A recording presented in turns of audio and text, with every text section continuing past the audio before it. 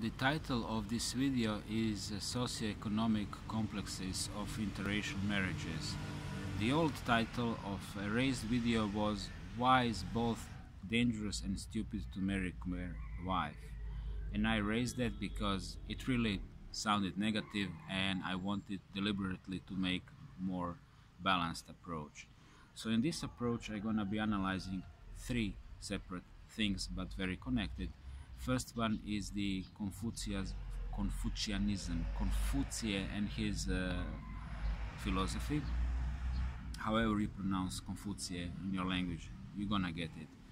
And uh, second thing is the successful marriages, and uh, third, thing, third thing is unsuccessful marriages. And the thing I uh, got out of the analyzing those three examples and um, cross-analyzing and uh, of course analyzing their culture and how they click and why they click and, and everything. What I know about the Southeastern uh, South, Southeastern Asian culture especially Khmer.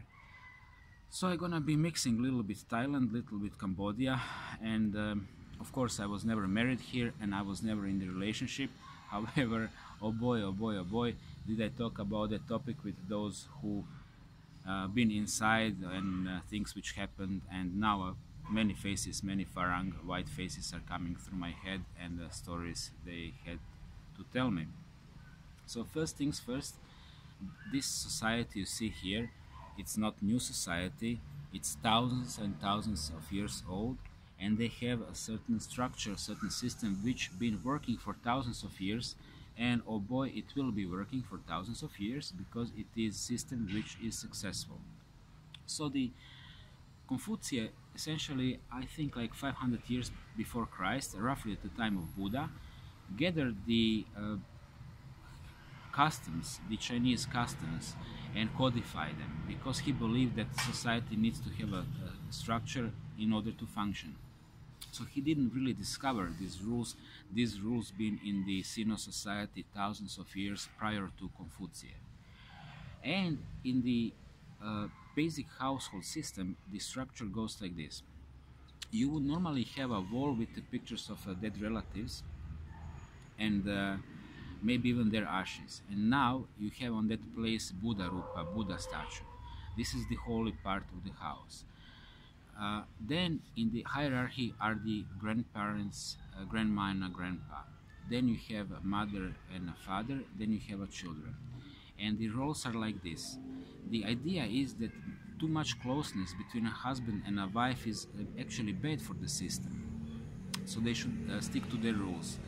And uh, rules of the husband are of course to go out and provide for the family and rules of the wife are to provide for the grandparents his father and mother, to take care of the children, to take care of the house, herself, and then him. And uh, in a system, uh, he is not really uh, the most important uh, person. The money in the in the modern uh, their way of understanding how it how system works goes like this. If you marry, for example, Thai wife, and your paycheck is forty thousand baht, one thousand dollars, 10,000 baht or one quarter of it would normally go to her parents. This is what I quote, quote to quote, this is my own language, uh, renting the womb. And uh, because this is how it goes, it's a business deal. You can make that business deal with her father. If you like her, you go to the father, you talk to the father. He's gonna tell you either two things, one or two. One will be 1 million and a half baht, 2 million baht straightforward and because nobody has that money then it goes renting part because in that society in Thailand and here people do not have pensions. Bingo. There is always why right? So they need to rely on their children for survival. So what I uh, cynically call renting the womb is his uh, pension because he produced it. Okay and it's working and it's natural. Then the next next thing in, in the importance, uh, and some say first are the children, and then it's her and then her siblings. He also supposed to take care of the rest of the family because this is a different structure of the family. You see, family is all these people connected. They are family, rightfully so, because that's good. While in Western system you are isolated. So you don't really give a shit about your family. Your money doesn't go there, and why would you? They have pensions and so on and so on. Well, here people need to help themselves, and there is a system in a place here for thousands of years, and it's working. And where it's not working, like in China, then you have uh, parents uh, in their 6 70s and 80s uh, gathering bottles because a single child is somewhere already busy and needs money for children or maybe they don't even have a children like me so you know bear in mind it makes sense okay so this is the uh, social system and um, so now uh, the stories the successful stories are the stories of the people who are poor people who are poor, like uh, Dr. Richardson, uh, he's uh, you know living from his paycheck, and his uh, wife is living off his paycheck. So. Uh, I, when I when I explain the other examples, you will understand why I call it successful marriage. And they're functioning through the years as a family. She depends on his income. Okay.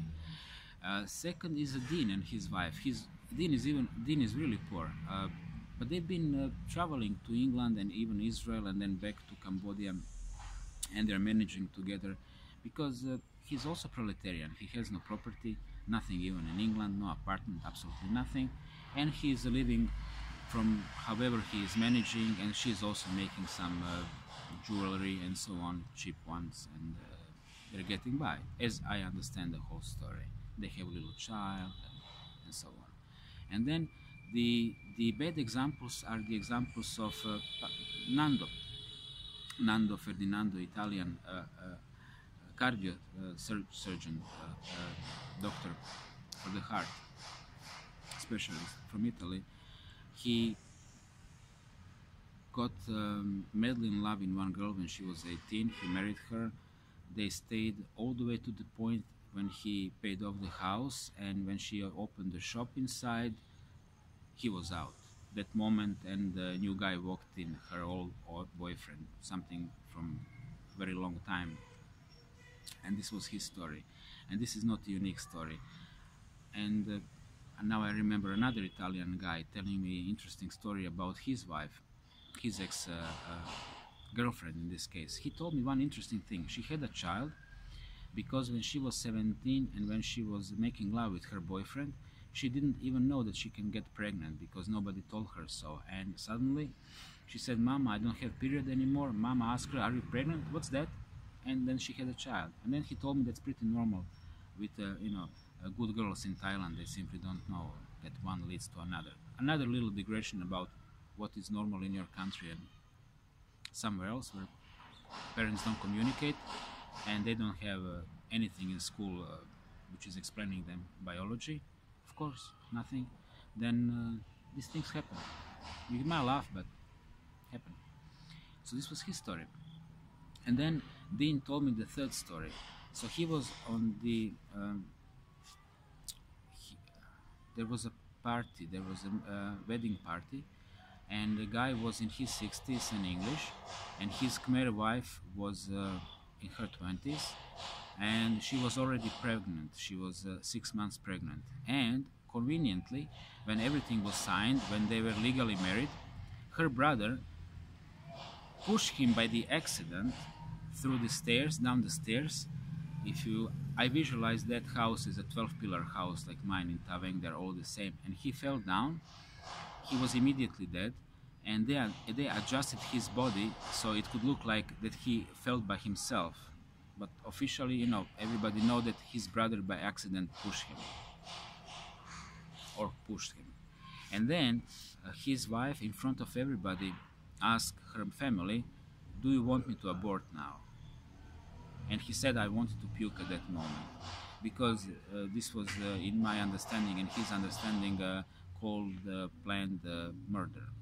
And they, of course, they got away with it because police officers been right there uh, here many people are police officers, they don't even go to the police station. And there is also this phenomenon of ghost police officers, ghost of soldiers, uh, all the way from the uh, pre-Khmer Rouge uh, era. They always had these people on a payroll which are not really on the working anything. There's somebody simply collecting the paycheck. So it's complicated system. Who's police officer, who's really not, and who's active, and so on. But uh, in short, uh, that was all fixed, and he was very quickly cremated. So these also things happen, and um, and I heard another story from a friend. This was a lady I met over the over the YouTube. She was uh, telling the story of her, a very good friend from Australia, who uh, is so rich that they even have like a house on a small island and uh, three three three children with his wife. She he married her when she was young, and she tried to kill him a couple of times. Once her brother tried to kill him. Another time she tried to poison him, and he survived and stayed with her. So uh, general rule will be uh, I, I suggest you to marry if you're like totally poor and she's like gaining nothing with murdering you. But uh, if uh, you have something to leave her then uh, better not marry her because you might be dead even before a wedding is finished. And um, to you know to understand how they click how they function is um, you need to ditch many things from your mind and observe things uh, sorry for the term but like a psychopath like coldly mathematically calculatively. And uh, if you manage to do so then you're gonna understand the motives and actions and how they really click. Just ditch the romantic uh, fantasies out of your head. Uh, ditch the expectations uh, try not to be horny uh, and try to observe the whole thing as it is and try to make some mechanisms in your life to protect yourself because the main mistake of the western mind is we hopelessly think that the whole world is uh, like us and that whole world must be like us but it's not you know? and then uh, when world doesn't fit in Western mind, then Western mind really tries to fit it in. And I think I will finish with these words. I was uh, already at that time about one year in Thailand, my first year, and I was Pakao in the near, near to the uh, Khon Kaen area. By the way, Khmer always uh, laugh when they hear the term Pakao because in Cambodia, Pakao is somebody who's like a dog asking other people for money and then gives that money to the monk. While you know luckily uh, that was not the case in Thailand. Otherwise, I would never be a Pakao. You know, it's far more uh, dignifying system and far far higher level of Buddhism than this one here, of course, as anything is. So he told me, you know, you need to stay at least one year in in country to begin to start understanding how different they are. And we've been drinking coffee in a very nice uh, coffee shop, and uh, he was teaching, of course, English there, and and then I just got it immediately. Like I understand you, really. It's like first two months I was totally lost. First two months I was uh, thinking that uh, I'm surrounded by people which are fundamentally like me. And he told me, more you stay here in this area, in this country, more you will understand that they are fundamentally different than we are. And uh, after one year, I finally allowed myself to you know you really need to have some sort of ego release in order to allow yourself to understand that people around you are fundamentally but fundamentally different in a very deep things okay? And and marriage and love is one of those things. So here love is irrelevant absolutely irrelevant factor. It's simply business deal. It was always business deal. You can make that business deal and you and she can produce you babies right? But you know don't expect from her to understand Nietzsche and to understand the Kant and to understand the difference between uh, Christianity and Buddhism because she, before you she probably not gonna even know what's Christianity. And when she meets you she will know that's uh, Farang Sangha Church from Farang this is the level you can expect my friend. But fertility you can get so this is uh, these are my final words. It's okay if you're poor. If you're rich, it's dangerous. You can expect sex. You can expect from her to do her duties, which will be taking care of the house, taking care of you, uh, not only sexually. If you if you want sex, her duty is to provide it immediately. Okay. Uh, in this society, absolutely. There is no I have a headache. That's her job. It's a job.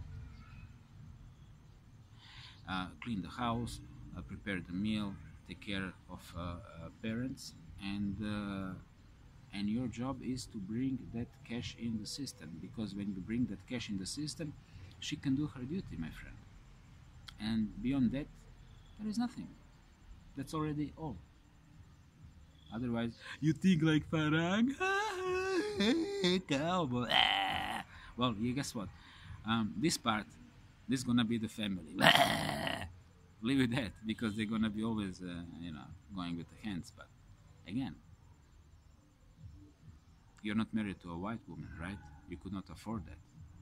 You, now you deal what you have.